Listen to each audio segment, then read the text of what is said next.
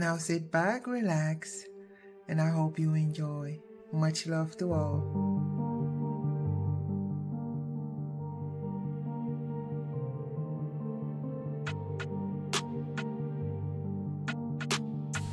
Eshu Elegbara, Tree of Justice. Eshu Elegbara is the master of the crossroads. He is the Lord of Communications, Guardian of Gates. He is the owner of all roads, paths, and thresholds, literal and metaphoric. He owns the highway, the path to your door, and the road to success. Eshu Elegbara is venerated throughout West Africa. He is incorporated into different pantheons, and thus different myths are told of him. However, his essence remains the same. Because he is venerated by different cultures with different languages, different variations of his name exist. Eshu. Elegba, Legba, Eshu Elegbara journeyed to the Western Hemisphere with enslaved devotees, where he emerged as one of the most significant, widely venerated spirits of African diaspora religions. He is called Papa Legba in Haiti, Elegua in Cuba, and EXU in Brazil. He may or may not be the same spirit as Paulos Lucero. Eshu opens and closes roads. He is invoked to remove obstacles from your path and to obstruct enemies and misfortunes so they can't reach you. He is an intense trickster but also a force for justice. Eshu is a lover of truth. Nothing can be hidden from him. Eshu Elegbara mediates between people and the other spirits. Traditionally when one wishes to communicate with other spirits, one first asks Legba to open the door. He is the first spirit invoked in African diaspora spiritual ceremonies. Legba opens the gate for the other spirits to follow. Papa Legba may be invoked when you stand at any crossroad and need direction. If you are literally lost and don't know which way to turn, call his name and wait for a sign. Invoke him when spiritual communications are not going well. Invoke him by crossing bones at a crossroads or by leaving a small cairn of bones for him there. Theoretically, there is nothing Papa Legba cannot do. He enables the lame to walk. He transforms bad luck into good and vice versa.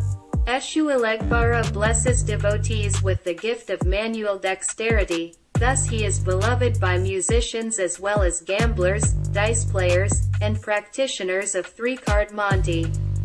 Legends of bluesmen like Robert Johnson receiving extraordinary musical talents at the crossroads may derive from vestigial memories of Papa Legba. All one must do to receive these blessings is go to the crossroads and ask. There's no selling of souls involved. At worst, Elegba will ignore you and you're left where you started. Bring your instrument to be blessed, guitar, dice, whatever.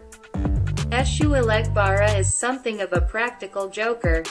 He likes word games. Be careful how you phrase requests, and cultivate a sense of humor.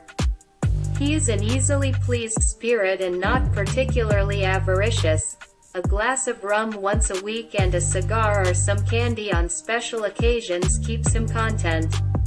He is among the most powerful and proactive of spirits, don't ask for his help unless you're ready for change. He is syncretized to the Holy Child of Atocha, the Anima Sola, Saint Anthony, and Saint Peter, another guardian of gates. Also known as Elegba, Elegua, Legba, Papa Legba, Atibon Legba. Origin, West Africa. Manifestations. He may have over 121 paths and manifestations. His original form in Africa was as a handsome, virile young man. This manifestation did not survive the Middle Passage. In the Western Hemisphere, Eshu Elegbara may manifest as a merry, tricky little boy or as an old limping man, weary from walking the world. He may dress in Masonic garb. Iconography. In Africa, he is sometimes venerated in the form of a phallus.